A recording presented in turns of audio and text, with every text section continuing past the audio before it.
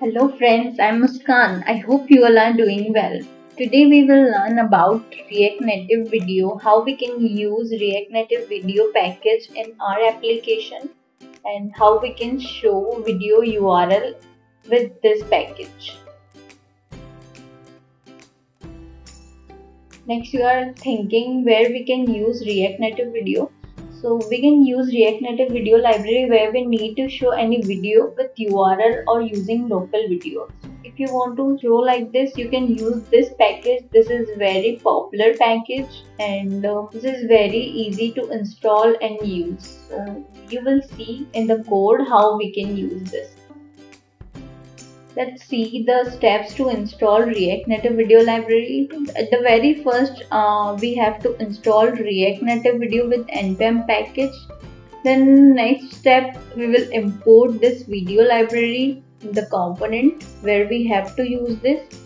Then next step, we will use this video as a component and then we will add source file if you are using the URL then you have to use with URI and if you are using local file then you can simply add your local file in source. Let's understand this with code. As you can see here, I have already created a component video example.js and I have imported video example in app.js like this and using in return. And this component, you can see there is only view right now and with container style we will write code for uh, React Native video package in this component. For the React Native video package, first thing we will do is install React Native video package with npm. So I am copying the command from npm web and then I will install this package in terminal. It's installed. Now I will install application after install package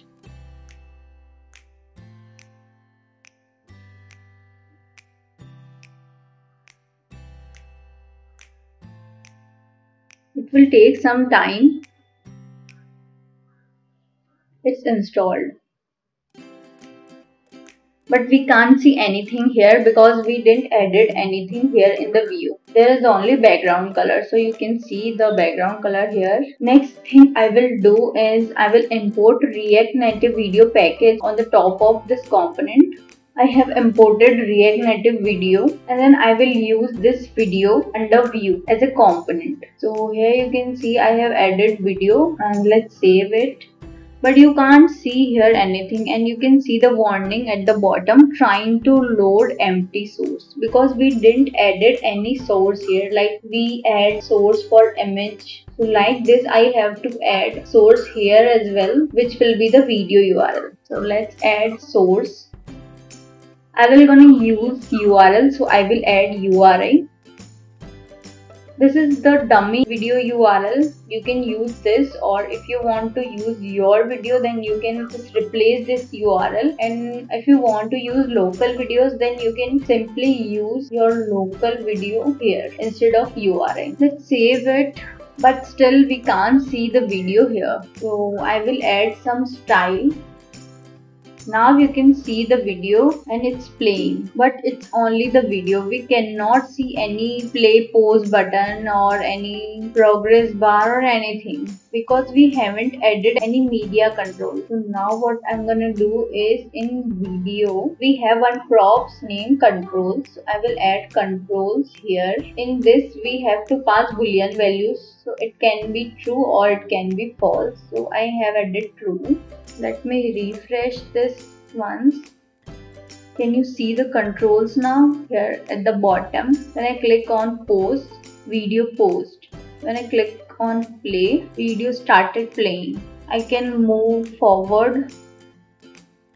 We can backward video till 5 seconds with this we can move forward video. Like this we can use video. If you want to style this properly if you want these control as an overlay on the video for that you can simply pass height. After passing height it will not go beyond this height. So you can see the overlay of the media controls here on the video so you can simply use video library like this. You can simply show your video in this video package. In this video package we have multiple props. Let's see one by one. Let's check documentation. You can add volume of the video. If i have added 10 you can hear volume of the video. Is that what you want emo. Your goal in life. You can use muted through it will mute your video. We can't hear voice of the video now. We can use onload prop of video package. In this we have to use any function. So I have created one function and I have added console log. When video load then it will show us the console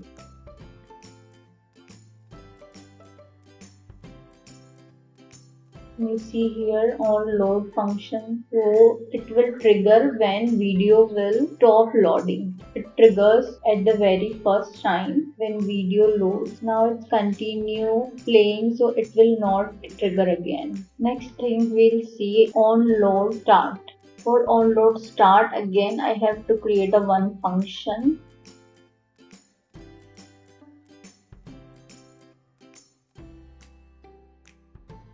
I have created a function on load start and then I have added console for on load start.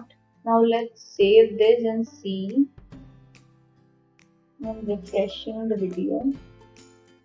So you can see it triggers at the very first time and it triggers two times on load start. So when on load start trigger on load start function then when loading paused or loading end then this function will trigger on load. We can give it uh, on load end so that will not confuse us. It is a on load end and it is on load start. Next thing we can use on progress. For this again i will create a function I will give it a name on progress and I will console on progress inside this function. Save and now check. On progress triggering continuously because video is on progress it's playing continuously so it's triggering continuously. Let's see next prop. Next we'll see on buffer. This will be the callback function when remote video will buffer let's check this also. I will comment all the console so that we can see on buffer. It is not buffering right now because my internet speed is stable. If your internet speed will not stable then maybe you can see this buffering console. Next we'll see on error this is a callback when your remote video is not playing.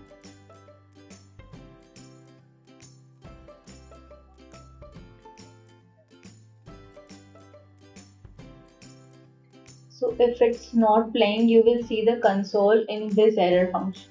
Right now it will not trigger because our video is playing but when your remote video will not play then you will see the error in this function in this video library we have one um, more prop which is full screen orientation.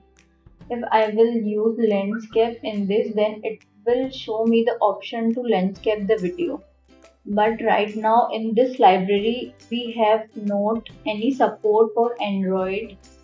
But uh, you can see this orientation thing in iOS app with this package but if you want landscape mode in android then i can create one more video. And in that video we will see custom controls of the media like play pause and backward forward full screen and the volume button everything. If you want that video please do comment. Uh, i will make video on that as well.